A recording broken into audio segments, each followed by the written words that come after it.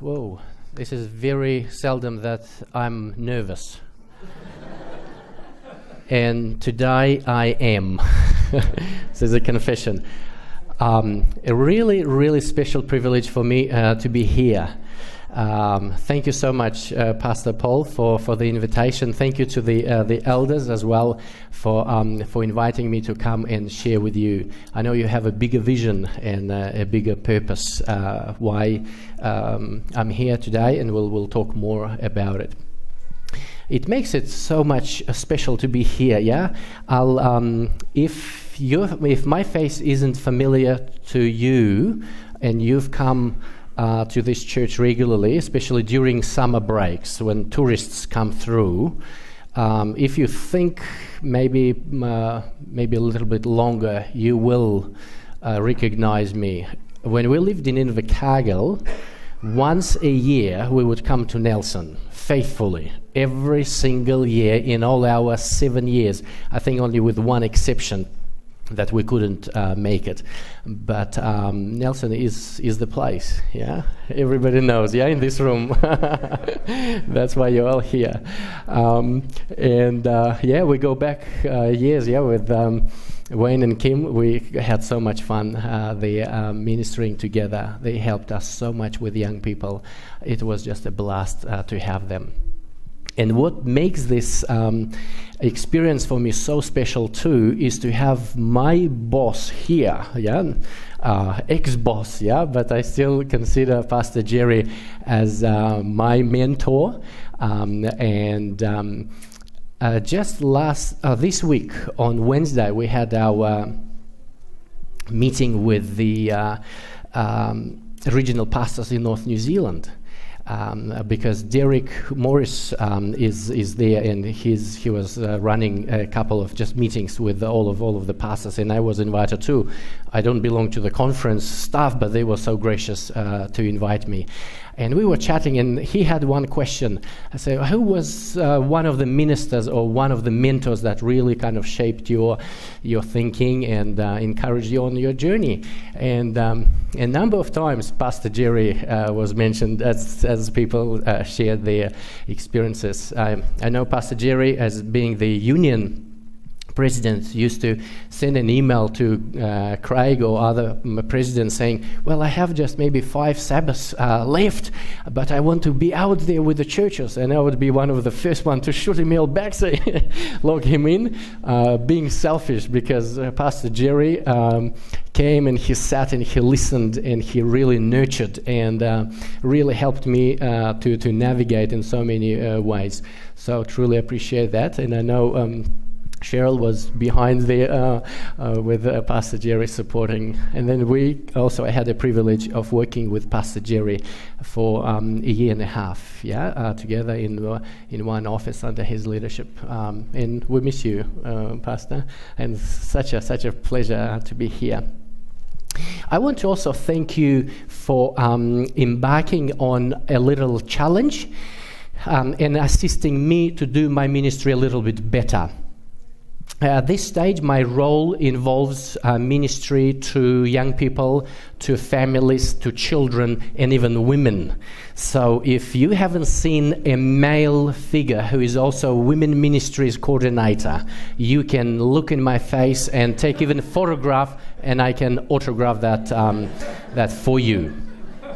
So it's a very, very exclusive uh, chance that you have, yeah. um, but I really appreciate you doing this survey. Let's talk. And I know um, all of your leaders are involved and extended also leadership or church church members.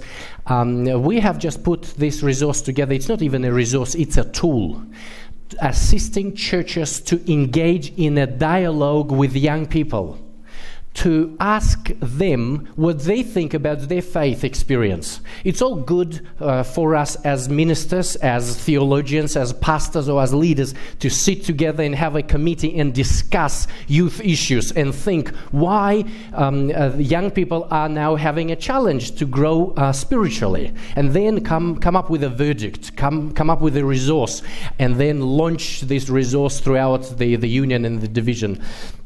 We decided to go a little bit um, uh, to take a little bit a different journey and actually engage young people in this dialogue.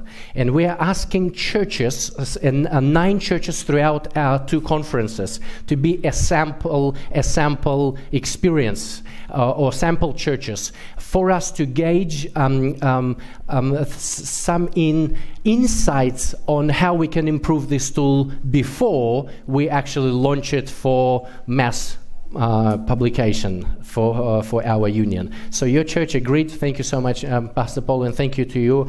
Um, leaders as well and i look forward to supporting you um, in your focus groups when you will have maybe in a fortnight um, so we can learn some of those um, some of those things that will um, empower our young people and will also empower us to grow um, and develop better uh, better resources and better tools. How many of you have come across these resources as well? A faith shaper. I will leave this um, with, with, your pastor and your leaders. Um, this just brings some issues to the surface. To really, it really gets the church to think about young people and, and how they can minister to them. And this is a solution it's, it's not a model, but it's a way to really explain how any church can take on uh, a journey of implementing seven components to minister to young people so they not only stay in church, but they are active ministers, they are active leaders, active disciples of Jesus. Um, why it is important, before, before I now switch to, to my message, have you heard the fact that we lose young people to the world? Do you have an idea how many young people will lose to the world as, as a denomination? Any idea, any, in percentage? Uh, pick a number. How many percent, uh, how many percent of young people leave church, never come back? 70s, uh, here many, many 70s, yeah? Um, can I, oh, before I give you a, a figure, uh, can I give you bad news? We have no idea. Isn't it bad? So we, we don't know what we are dealing with because no one ever actually sat down to study it and say, hey, actually, how many are we losing? Does anybody have any kind of data? No. So we assume an anecdotal uh, figure that we can come up with somewhere between 51 to 80 percent. It depends on the church and the area. Now, just think about it. 51 and 80 percent of our young people march through the doors and never come back. What do you think uh, about this challenge? It's pretty pretty bad, yeah, for um, for um, for any any organization or, or, or, any any group. So we would like to, in the first place, we would like to have some kind of understanding and clarity. How many? So that's why we need we need this. And then what are the issues? So we are really um, uh, trying to explore this. Um, this subject. So I do thank you for assisting me um, in this my time is running out and we'll uh, switch again. We'll uh, make, make a move forward. This is my beautiful wife, Agnesa. Uh, she sends you the greetings. And when we came here, she, she's always with me because I'm married to only to one uh, wife. Um, and uh, and these are our two boys. Nathan, he's seven, and Daniel is three. They are totally different, and as, as you parents know, um, at times it's just strange thing that happens. Uh, if I take Nathan to a playground, I need to go as a parent to make sure Nathan is safe.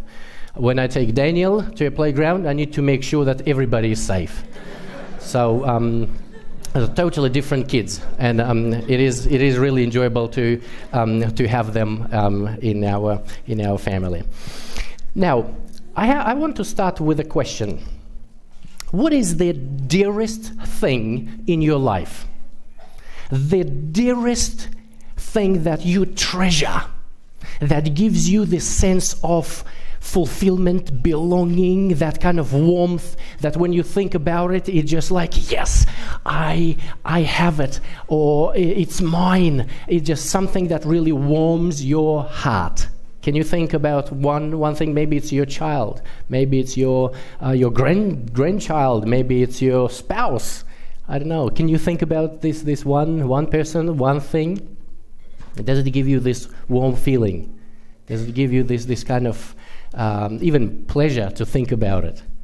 You know, I suggest you ask your kids about their dearest thing, and you will have heaps of uh, laughter and fun. I asked my three-year-old one, um, and I said, "Daniel, what's your greatest, the greatest thing that you love so much?" Without even thinking, he comes up with an answer, and he says, "This is Robson." I'm like, what? And the Robson is just a small little kiwi bird that he likes to play with. Now, friends, I don't know about you, I really expected daddy, you know?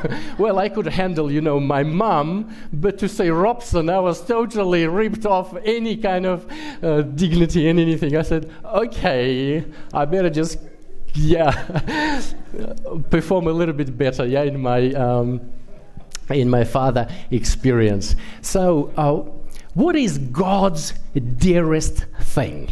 What is what makes his heart sing? What makes his heart cry? There is only one thing that we know that can break his heart and can also make his heart sing and be joyful. And who is this? It's you, yeah? It's us. Now, can you think about a verse that that you can use to express that gospel message in just one verse? And then now automatically you think John 3:16, yeah? There go except John 3:16. Here's a challenge. I knew it was coming, so I, I kind of exclude that. Some other verse. The apple of the eye? Really portrays that dearest thing that God uh, has. Any other? Says the gospel message. If you, if you were to, to share with someone the, the depth of this gospel message, Yes, the whole story, yeah? Another fabulous uh, story. By the way, is this culturally okay to engage the audience um, here? Thank you, Jesus. Um, so I'm not stepping on anybody's toes here. Yeah, that's that's good news. Um, and is this okay if we'll have less teaching, uh, less preaching, and more teaching uh, this this morning? Yeah, someone wise uh, said it before, and I uh, really try to follow it. I, I, think we will gain more insight uh, from shared experience and and shared journey rather than just me telling you what you should know. Yeah. So here's my verse. Here's my verse that I, um, um, I really think that portrays and explains this, this gospel message. Um, we will come to this verse in the next slide. John 1 1 starts with these words In the beginning, the Word already existed, and the Word was with God, and the Word was God, God Himself. And here is the, the gospel message. So the Word became what? Human and made His home among us. He was full of unfailing love and faithfulness, and we have seen his glory, the glory of the Father's one and only Son. Why do you think I have chosen this verse to explain the gospel message? What does it tell you about God? What does it tell you about the way He went about saving us?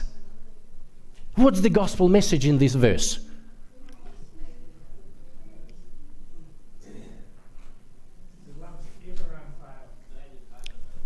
Yes, his, he love, his love never fails, yeah? Unfailing. Wayne? Became human.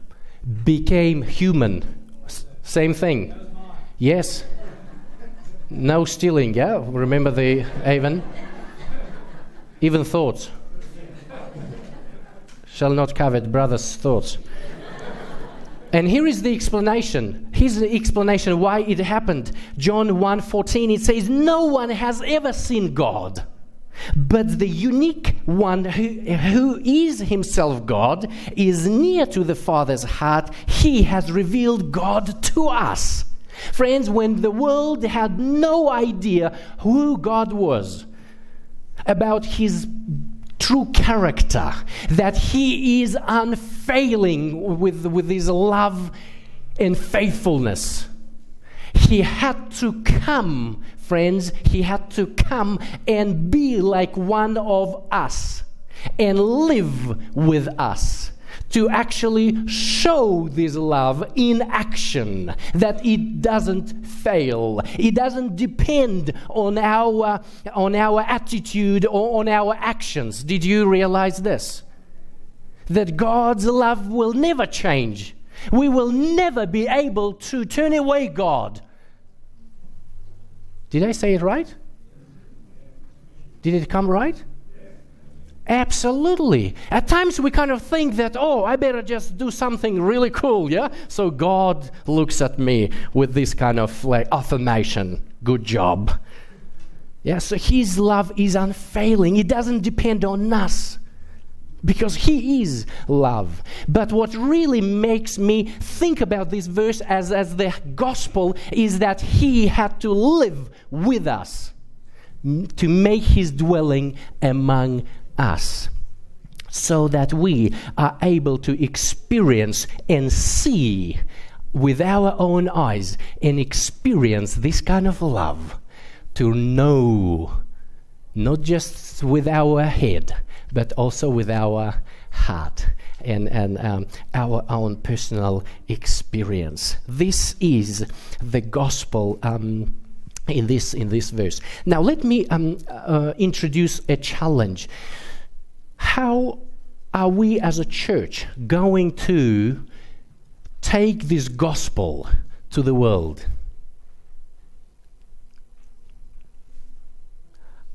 And we will come to look for the answer just in a, in a short while, but I want to introduce a challenge.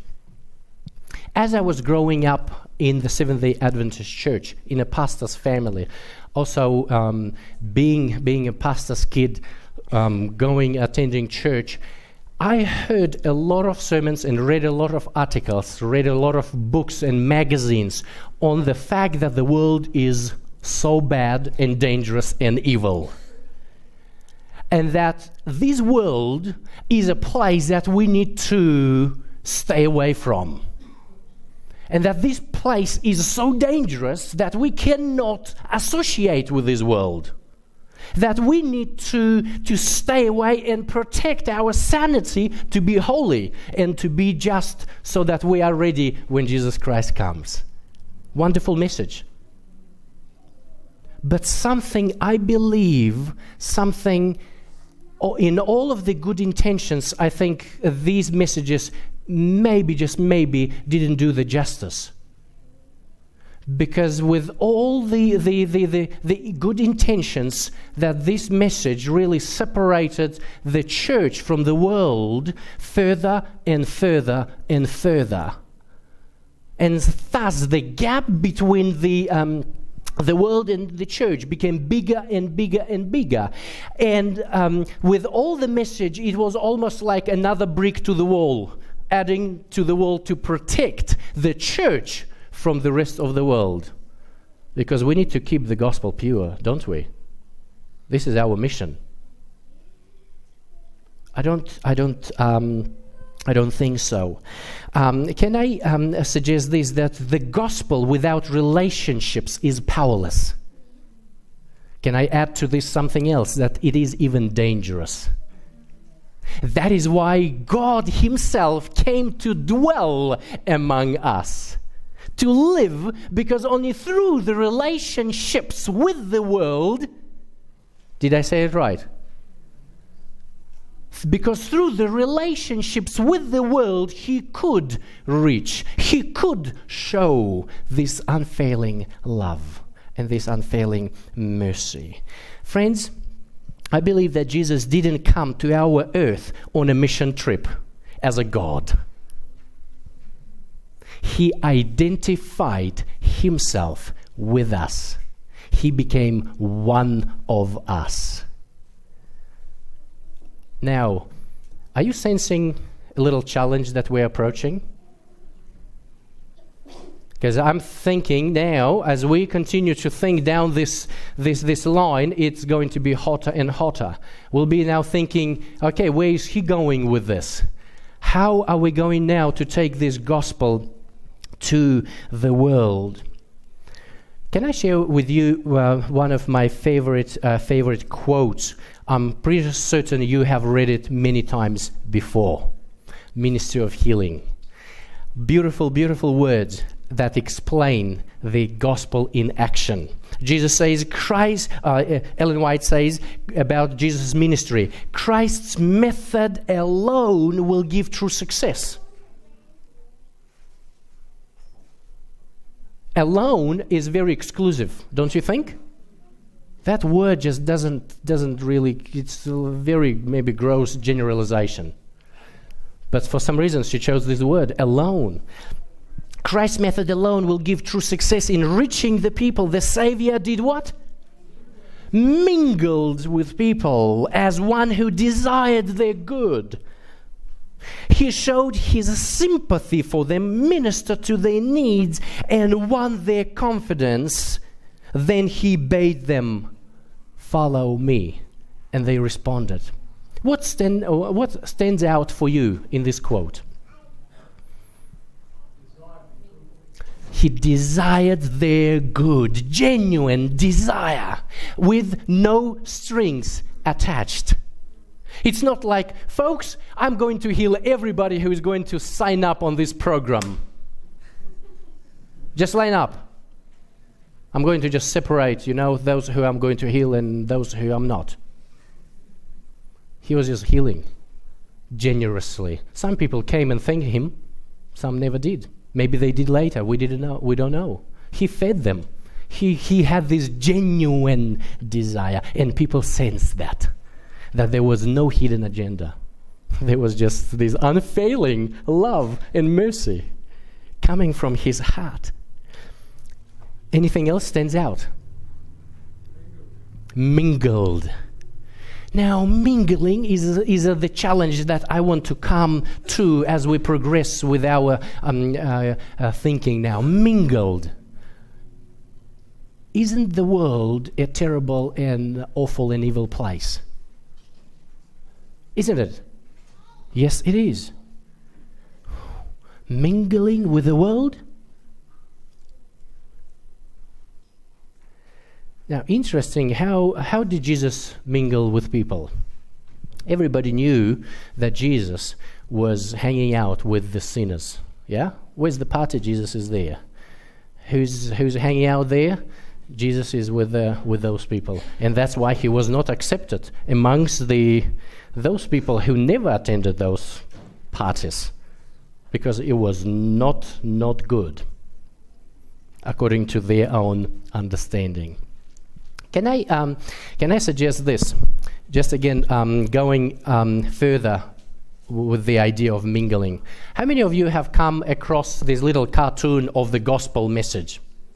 Yeah, where we draw the world on one side, just what you see here on the screen, and then God on the other, gap, and uh, and then what happened?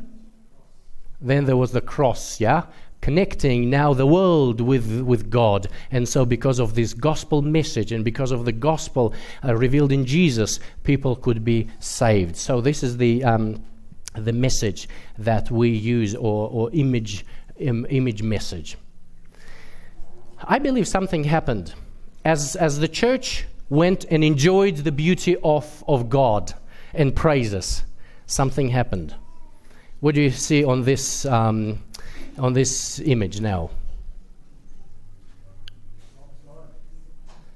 I think the church decided to protect the gospel so much. Uh, the purity of the gospel and the purity of the saints that maybe the connection has been lost between the church and the world.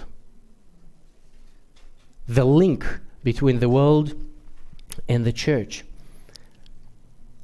And I want to um, question myself and invite you to also think how often do we spend time to study the topic of how to mingle with the world, how to be friends with those uh, people. I think at times we change the gospel commission from go to, well, we'll invite you to come to our service, to our party, rather than follow the Great Commission when um, Jesus says, Go out in the world. He says, um, I, I, believe that the essence of Christianity is about building relationships with people in the world for the purpose of leading them to Christ and then excellence in walking with Him. Can I share with you uh, one story that you also know from the Gospel? Did you know that every single word that Jesus said and every single miracle and every single story that is written in the Gospels was there and is there for a purpose? So nothing happened accidentally. Yeah, even the storm, even the healing, even the words that he spoke, everything, every single bit. Do you agree with this? So there was a story. One day, Jesus talks to his three disciples Jim, John, and James, the favorites. And he says, I'm going to take you on a little walk up the hill, and we'll leave the, uh, the other nine down here. And you know what happened, yeah? The other nine started debating. How come? This is totally unfair. But they, he takes them up on a hill, and the story tells us that he transfigured. He showed his real glory. And Peter expressed what other two maybe thought but never had a chance to share because they were speechless. Peter never had issues, yeah, with uh, lack of words. So he comes up with a wonderful, brilliant idea. He says, Jesus, I love being here. I just love bathing in your glory with Moses. And it's, it's, it's really so much fun. So I'm going to cut you a deal. We will build three mansions for you. Don't worry about us. We'll just sleep outside. But as long as you guys are comfortable, we are going to have so much spirit of spiritual fun. So we, we're going to stay here. Why don't we do it? Jesus looks at him and he says, Peter, I think we have some work to do down there. Do you know what happened as they came down, uh, down the hill? Something happened. It was there again for a purpose to teach the disciples some amazing lesson. As they came down, they saw that the, the other nine disciples were wrestling with the son who was demon possessed. In fact, they were wrestling with the demons that possessed the, um, uh, the little boy, and they couldn't. And Jesus comes and rescues the situation, and he sets the young boy free. Now, here is a big lesson for all of those uh, uh, that there was for all of those people, and the same lesson is for us as well. I will share with you just a little quote from um, from Desire of Ages. Beautiful, um, beautiful um, words. It was an object lesson of redemption, the divine one from the Father's glory, stooping to save the lost it represented also the disciples' mission. Who are the disciples? You and I. We are. Disciples' mission, not alone on the mountain top with Jesus.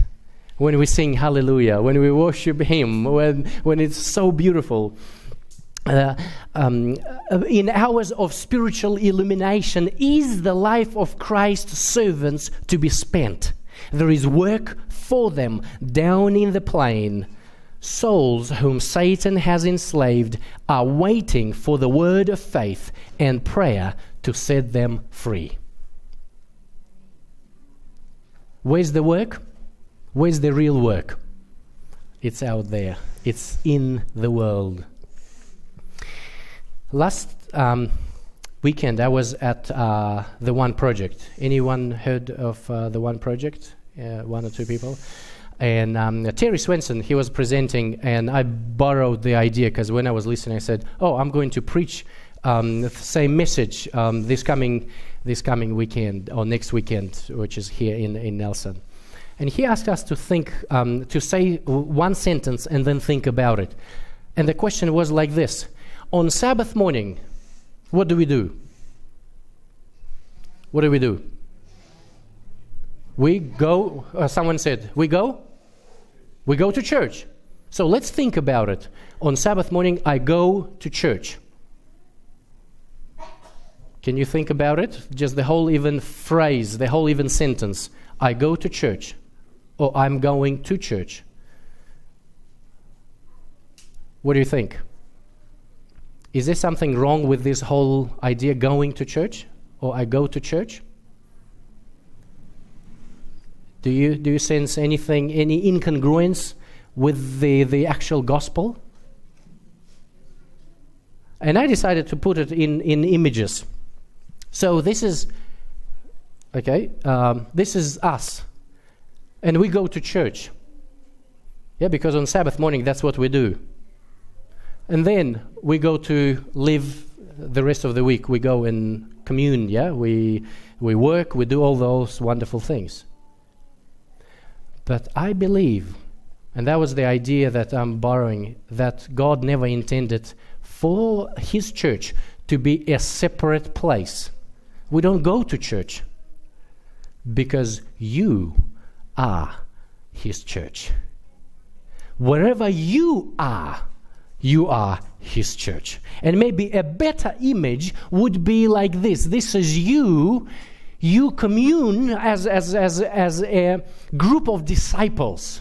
And yes, you meet once a week to celebrate God and share the stories of your life and experiences that you gain where? in your life with others. And I believe this is what Jesus actually meant when he said, You are the salt of the world. Comes back to the mingling aspect. The salt is no good if it's sitting somewhere in a nice salt shaker. You need to sprinkle it and mix and mingle. And when you rub it in, then your salad is delicious. There's no point in this salt shaker if it sits there and your, del- and your food is tasteless. But when you rub it in, when you mingle it with the rest of the substance, then there is taste. And that's what Jesus actually imagined for his church. Not to be here. So don't go to church. Pastor Jerry, he, sorry for, for saying this. Hmm. don't go to church you because you are a church. Wherever you go, that's where the church is. At your work, how do you mingle? And that's the, that's the answer. Because you are there, you are mingling with those people. You'll be talking to them about your experience. You'll be talking um, to them about your spiritual journey and the wonderful things God is doing in your life. And I suppose our challenge as we look uh, potentially, as we look to the future, maybe next year, with, um, I don't know, maybe some of your leaders heard the, the, um, the idea of, of turning point or some, some evangelism. Evangelism is not a project, evangelism is not a, a, a campaign. Remember, I, I said earlier, um, Jesus didn't come on a mission trip as a God, he mingled he ministered. And yes, of course, he taught, but we know that he provided a ministry and, um, and support more than he was teaching. Yeah, because um, uh, because that's his um, that was his ministry. We are called, friends, and this is the challenge that we have. We are called to be in the world, but not to be of the world. Friends, I can be holy when I come to church.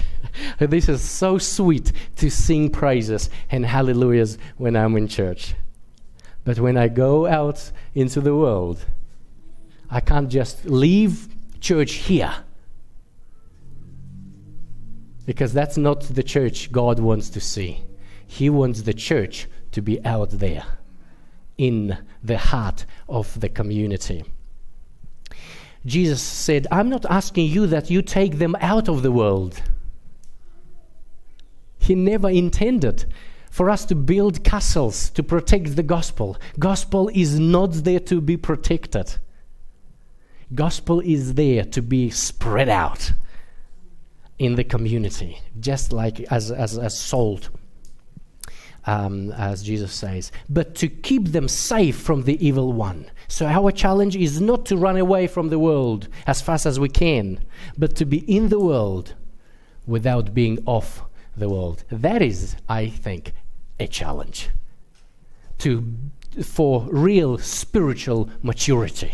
For those people who really need to, to have Jesus when we are out there, when we are sitting in the office or wherever you work, when you are working as a laborer or whatever you do, that's where you can minister. That's where Jesus is with you, not only here when you um, when you praise uh, praise him. The only way we can take the gospel to the world is by placing ourselves in the world. You may have read nice maybe slogans or um, titles of nice articles yeah?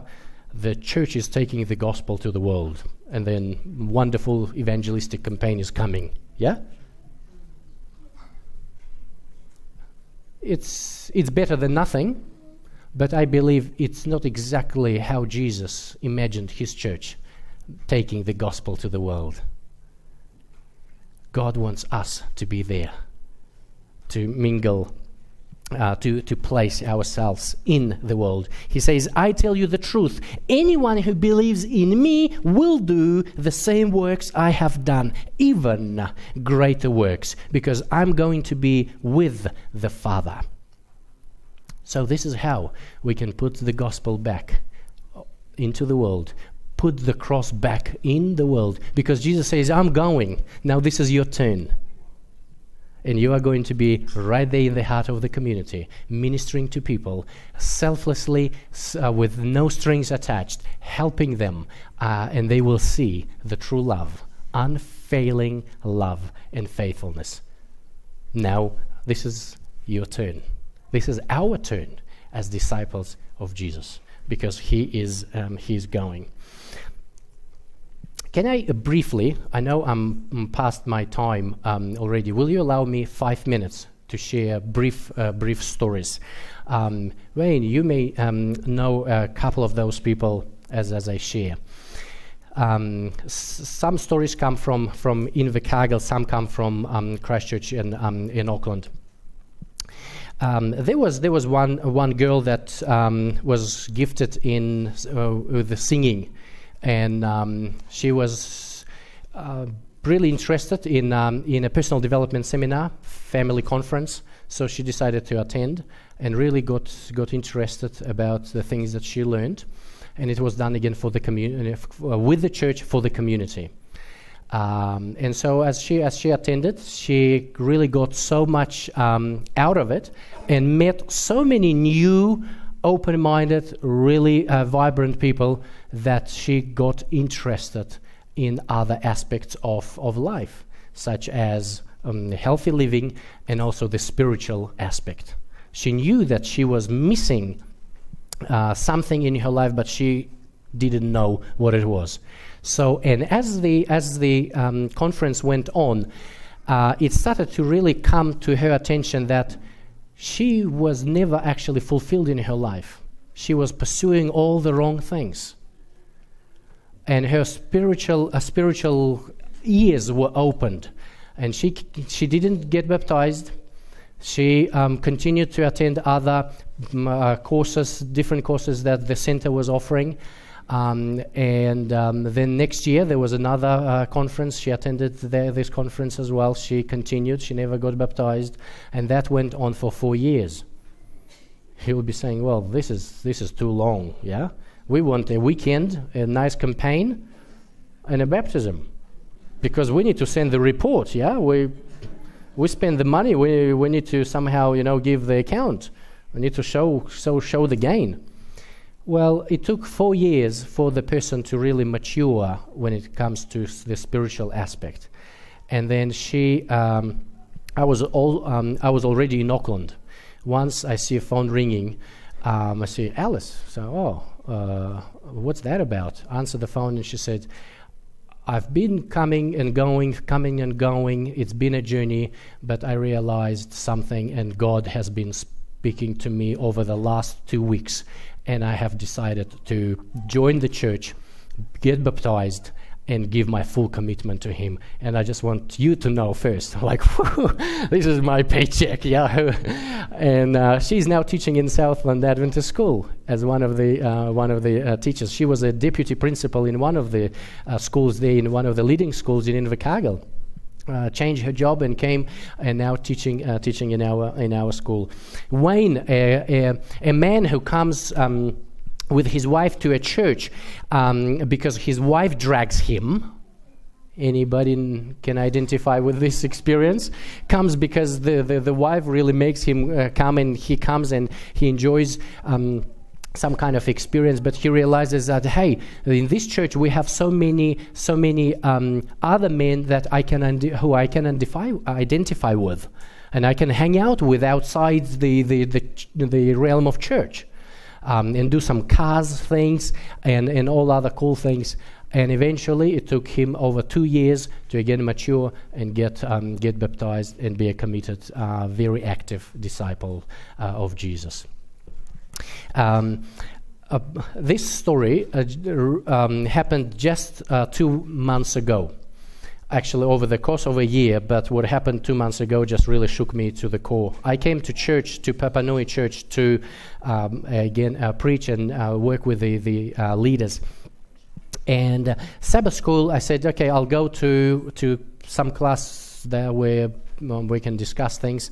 And um, I come, entered the, the class, and I see Boris is leading the, the Sabbath school. I'm like, ooh this is unusual. Why? Because Boris had attended a spiritual conference that we, we ran the year before. I'm like, whoa.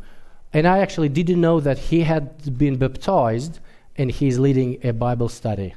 And as we are discussing very deep spiritual matters, it's kind of like a revelation. It just dawned on me that I'm being spiritually fed as a pastor by a person who just last year came to church and he the, that sabbath school was one of the best i've ever attended. Like really and participated such such deep and invo- involving like wow. And i at that church i said boris I'll, I'll put you on the spot. Come on up i said this is what true discipleship is all about. Last year i saw you come to the, the conference. This year you are leading in um, in the Sabbath school. And the last one, um, just last last month, um, I was chatting with a couple who um, uh, came to one of um, churches in um, Auckland, Manor Park, and um, after the after the conference uh, finished, one month later, I attended the the church, and I see this couple driving but I'm like, oh, I said, are they, are they actually, have they started attending church? And the person um, who was standing with me at the doors said, oh, no, no, no, maybe this is their first time. And I'm like, whoa. So I went out and uh, greeted them, and um, we sat through the service together. And then um, during the break, I, um, I asked them, I said, so what's your spiritual experience? Can you tell me? And um, Carol started. She says, I will tell you the truth. 30 years ago, I left church with no intention whatsoever to ever come back. I gave up on, on God completely because that whole thing just messed my life totally. And the same for Greg. We both decided individually before they even uh, got married met together and got married that we would never ever consider God at all. But when we came to the conference, it kind of really um, brought, brought to the surface that that spiritual aspect was a missing part in our life. And so we just decided to give another shot and see if it actually can be different. I'm like, whoa, the pressure is on. You, you are here and you are giving this one shot after 30 years. And I'll, um, I can tell you story after story of those people that completely either had no concept of God at all, absolutely secular, what we call them, or those people that had given up on God at all. They come, um, mix and mingle with, with people, and, and actually realize that I'm missing this part because they see this unfailing love and grace in uh, people just like them. And they say, Oh, I have been missing it. And what I would like to do um, this afternoon, I'd like to expand on the aspect of mingling. How can the church, any church, be part of a community? How um, can any church mix and mingle with the community throughout the whole year? So it's not a program, it's not an event that, that, uh, that you can run, but how you can be part of this community. And of course, what you can offer to this community so you awaken their spiritual interest. And so, when, uh, so they discover that they actually miss something. And it is really as Jesus did. He came to live, to dwell amongst us. So we could see this um, or his um, love that never fails. So this afternoon, let's discover how can any church do the same thing what Jesus did, be in the heart of the community, so that um, uh, the community people could see this unfailing love and mercy. May God bless you. Let us pray our Heavenly Father, our Lord, our God. We are so grateful to you for the gift that we have in you, that you came to, to live with us so we could see who you truly are. Lord, we enjoy bathing in your glory. We enjoy seeing your glory and, and learning all these wonderful things about you. And now we ask you, Lord, that you will truly empower us to be just like you. Not to give us your glory so we can boast, but Lord, empower us to shine as you so we can show this beauty to those people that live around us in our communities. We ask you, Lord, that you will show us the ways how we can mix and mingle with, with people, with our friends, so they can learn about you, so they can know you as their personal Savior and Lord. We commit this community, we commit ourselves to you. And we are so privileged, Lord, to be called your children and to be called your disciples. We pray in Jesus' name. Amen.